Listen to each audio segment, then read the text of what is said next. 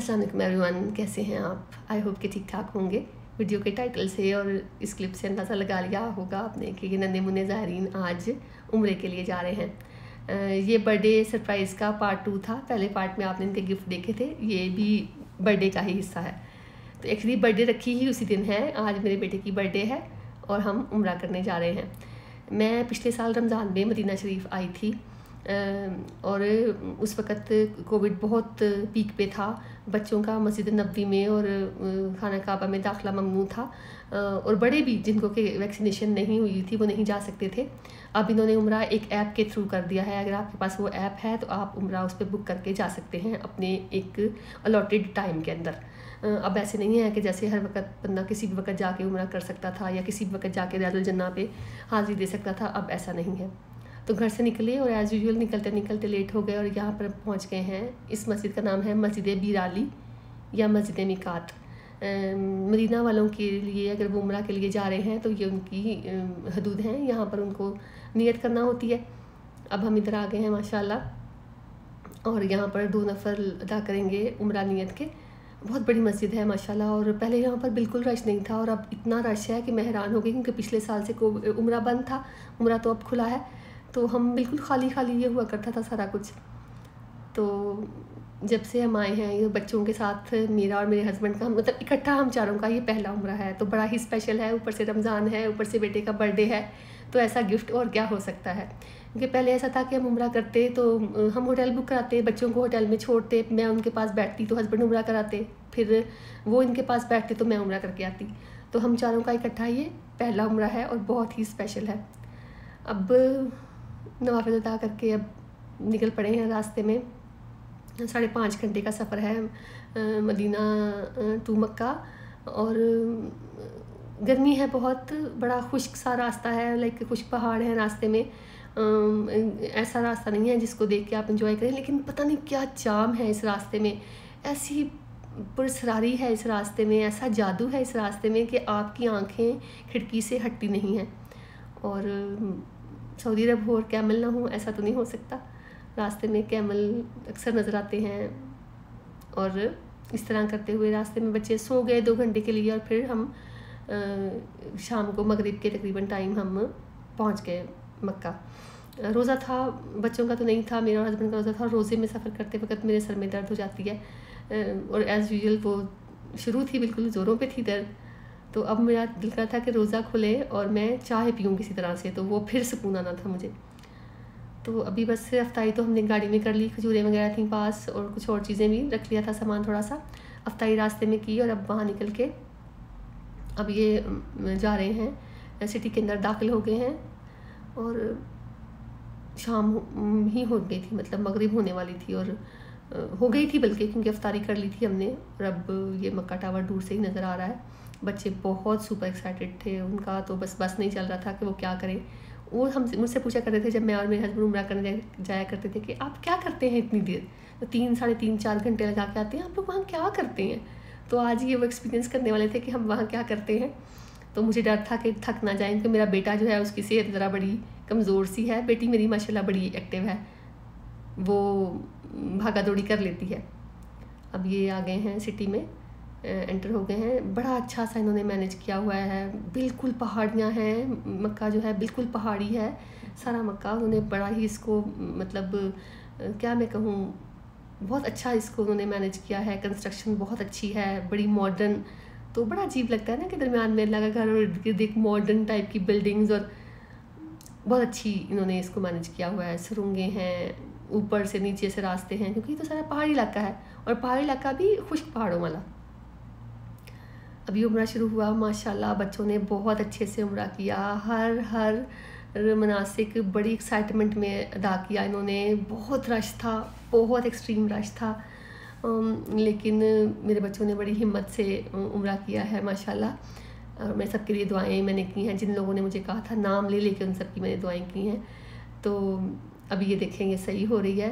और सही जोशो खरोश में, बेटा मेरा कभी थक जाता तो उसको बाबा उठा लेते, कभी मैं उठा लेती। लेकिन बहरहाल उम्र बहुत प्यारे से उन्होंने अदा किया है। जहाँ नवाफिल अदा करने थे, वहाँ नवाफिल अदा किए हैं। जहाँ दुआएँ मांगनी थी, वहाँ दुआएँ मांगी हैं।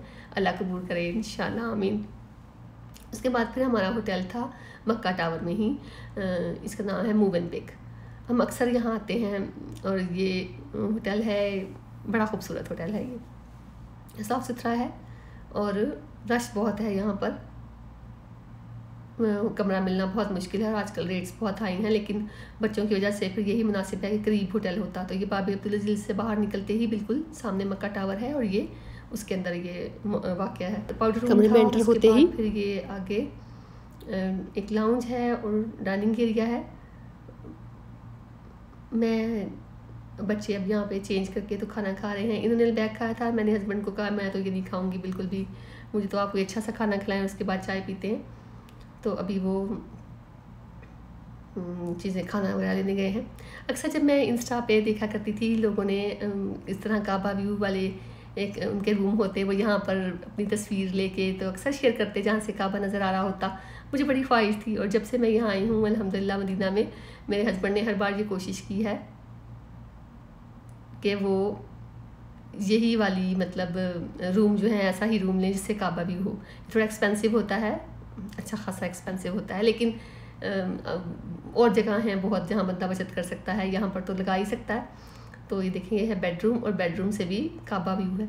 अब आप मुझे बताएँ, ऐसे रूम में रह के बंदा क्या सोएगा? मैं तो खिड़की में बस बैठ रहती हूँ और जितनी दुआएँ मुझे आती हैं या जितनी मुझसे की जा सकती हैं, मैं वो करती रहती हूँ। मैं कल रास्ते में सो लूँगी, खैर है, अभी तो इस मौके को एंजॉय करूँ। इस कमरे से भी ये काबा नज़र आता है, माशाल्लाह। बल्कि पूरा मक्का ही नज़र आता है, माशाल्लाह। बहुत खूबसूरत व्यू, बहुत खूबसूरत होटल, बहुत खूबसूरत उम्र था। बहुत ही यादगार उम्र रहा ये हमारा ये हमारा पहला उम्र था, इकट्ठे अल्लाह इसको कबूल करे। बहुत मज़ा आया। और मैं तो सोई नहीं थी रास्ते में, अभी ये वापसी हो रही है। और सारा रास्ता मैंने सोचा था मैं सोऊँगी। लेकिन मैंने आपको कहा था ना कि ये इतना पुरसरा रास्ता है, मदीना से मक्का का और मक्का से फिर मदीना का, कि मैं एक लम्हे को भी अपनी आँखें नहीं बंद कर पाती हूँ। बहुत इंजॉय करती हूँ इस रास्ते को। अब ये वापस निकल रहे हैं। और हस्बैंड को रास्ते में दो चार काम भी थे, दफ्तर के, वो भी किए उन्होंने रुक के, और फिर हम अपने सफ़र की तरफ़ रवाना हुए। बहुत मतलब पहाड़ी इलाका है, मैं बड़ी हैरान होती हूँ उन्होंने किस तरह इसको मैनेज किया हुआ है? इतनी बड़ी बड़ी बिल्डिंग्स पहाड़ों के ऊपर खड़ी कर ली हैं। और ये है मस्जिद आयशा जो कि मक्का वालों का मकाम मिकात कह लें। यहाँ पर ये जो मक्का के लोग हैं, जो मक्का से आते हैं उम्र करने, वो यहाँ पर नियत करते हैं उम्र की। बड़ी खूबसूरत मस्जिद है ये भी, माशाल्लाह, और बड़ा रश है यहाँ पर भी। अल्लाह सबको यहाँ आना नसीब करे और लोग यहाँ आएँ और एक लम्हा भी अपना ज़ाया ना करें और जितनी भी अपने लिए बरकतें और नेकियाँ और रहमतें समेट सकते हैं, वो समेटें। और बस ये वापसी का सफ़र है। बड़ा ही हैरान कन है। यहाँ पर एक जगह आती है रास्ते में जहाँ पर पत्थर इस तरह से पड़े हुए हैं जैसे पत्थरों की बारिश हुई हो। पहाड़ नहीं है।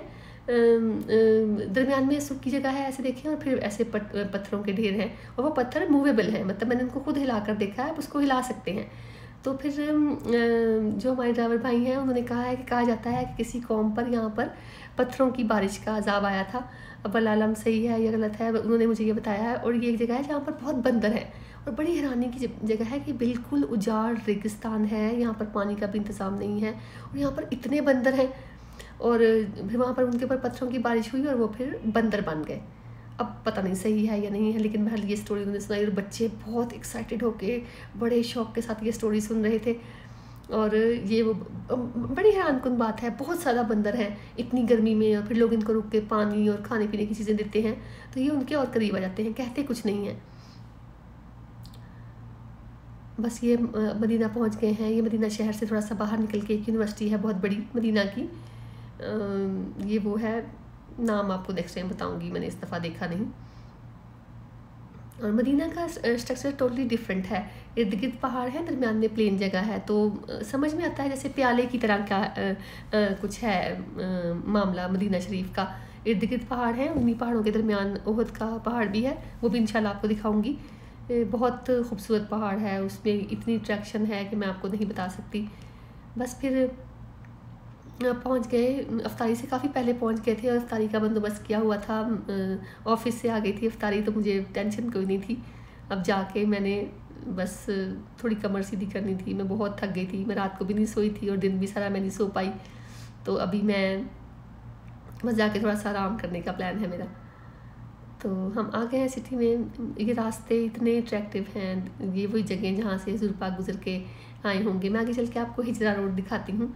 ये वो रोड है जहाँ पर, ये देखें जहाँ से पे हजूर पाक जब हिजरत करके आए थे मक्का से मदीना की तरफ़ तो इस रास्ते से गुजरे थे। इसका नाम ही हिजरा रोड है। यहाँ पर इन्होंने एक मोन्यूमेंट बनाया है और ये एंट्री पॉइंट है सिटी का। अब ये अपने घर पहुँच गए हैं। मेरे घर के बिल्कुल जैसे घर से बाहर निकलते ही सामने पहाड़ है और बड़ा एक खूबसूरत सा नज़ारा है। यही था। मेरा आज का ब्लॉग आई होप कि आपको पसंद आया हो। प्लीज़ चैनल को सब्सक्राइब कीजिएगा वीडियो को लाइक और शेयर ज़रूर कीजिएगा। अपना बहुत ख्याल रखिएगा। अल्लाह हाफि